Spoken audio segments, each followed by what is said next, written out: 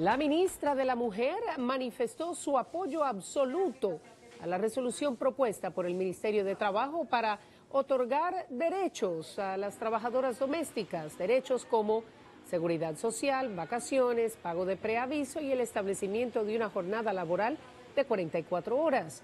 Mayra Jiménez respondió así a quienes se han opuesto a esta propuesta.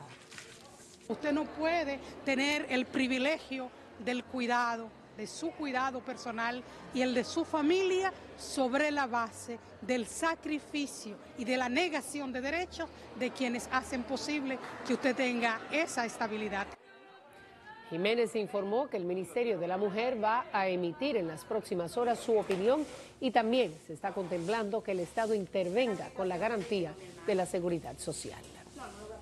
El mantenimiento de la unidad 1 de Punta Catalina no programado para esta fecha se debió a una falla de arranque el domingo tras haber sido sacada del sistema para un mantenimiento menor que inició el viernes. Así lo explicó a Noticias SIN Celso Marrancini, administrador de la termoeléctrica. Marrancini dijo que frente al fallo y con un mantenimiento sí programado para la unidad 2, que está funcionando a toda capacidad, prefirieron traspasarlo a la unidad que presentó problemas y así lo informaron al organismo coordinador del Sistema Eléctrico Nacional Interconectado. De esta forma, dijo, llamaron a los técnicos y al consorcio para iniciar el proceso durante 45 días y terminarán con los trabajos aún pendientes para recibir formalmente esa unidad en cuestión. Al mismo tiempo, Marrancini dijo a esta servidora que esta semana una firma externa ha estado evaluando el aire, el agua y la contaminación, incluyendo el parque de cenizas que produce la planta. El reporte, cuando esté listo, será enviado al consultor jurídico del Poder Ejecutivo. La tasa de intereses de política monetaria incrementó en 50 puntos básicos, eh, pasando de 5% a 5.50% al año. Así lo informó este jueves el Banco Central.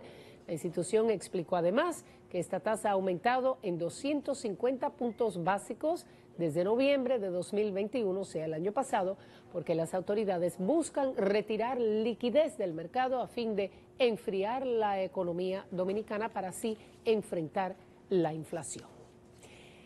Esta semana el proyecto de ley que eliminaría los aranceles a productos en Solo cinco provincias permanecen bajo alerta verde ante posibles crecidas de ríos, arroyos y cañadas, así como inundaciones debido a que continúan disminuyendo las lluvias producto de la influencia de un sistema de alta presión, así lo informó este jueves el Centro de Operaciones de Emergencias. Indicó que en alerta están Samaná, Santo Domingo, Santiago, Duarte, en especial el Bajo Yuna, donde siempre hay inundaciones, y también La Vega.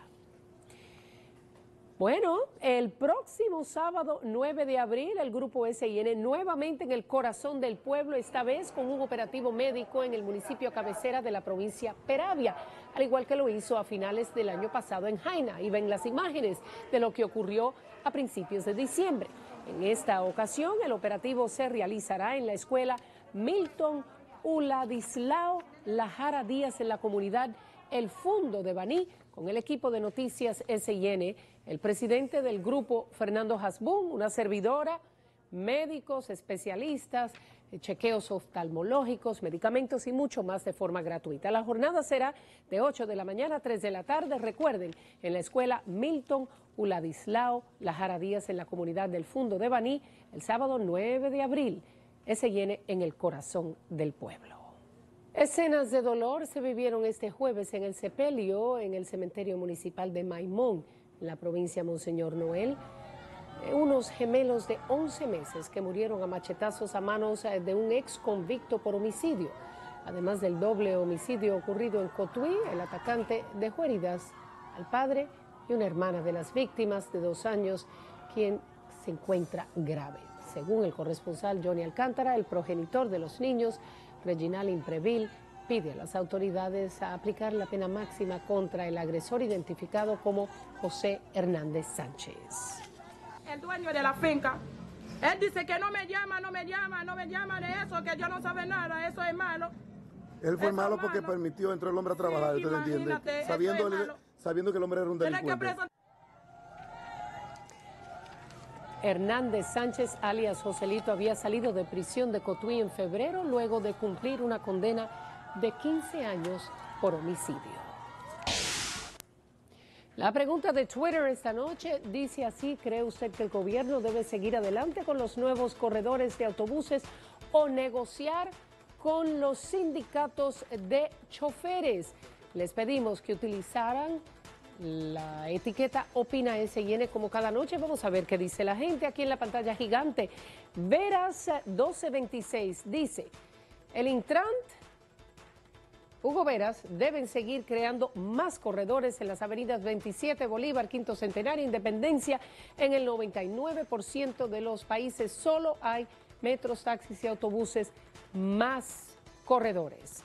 Lengy Radio seguir, ya que es algo muy innovador. Además, se trata del desarrollo de un país, pero se le debe buscar una alternativa a los choferes para no quedar en el aire. No olvidemos que deben llevar el pan de cada día a sus hogares. Jesús dice, hay lugar para ambos, la verdad, están horribles, no porque sean viejos, por el maltrato, los autobuses en ciertas áreas y rutas y los carros eh, en otras, hasta se pueden conectar para los lugares a los que no llegan los autobuses, pero carros en condiciones y eléctricos. Los eléctricos son un poco caros para el transporte eh, público, por lo menos los pequeños, ¿no?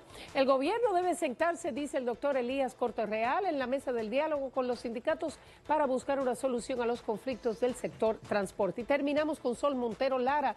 Buenas noches, Alicia. Sí, el gobierno debe seguir adelante con esas innovaciones. Eh, va a estar más ordenado el transporte y así se eliminará ese relajo que tienen algunos choferes de cobrar el pasaje que les parezca y con vehículos en malas condiciones. Así nos vamos a la pausa.